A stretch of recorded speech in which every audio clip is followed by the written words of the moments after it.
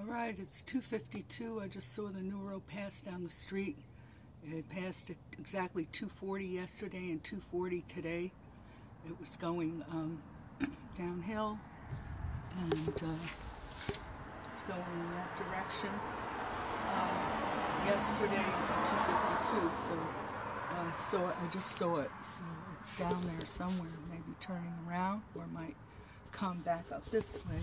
It is January 31st, 2020, and um, just so. Uh, I I mean, I'm surprised they didn't turn here like they did yesterday or whatever, wherever they came from, circling around. One was downhill, one one was uphill, and then it was downhill at 2:52. So uh, just waiting, because if I shut the camera off, turn it on again because this is not a smartphone or anything. This is just an old camera.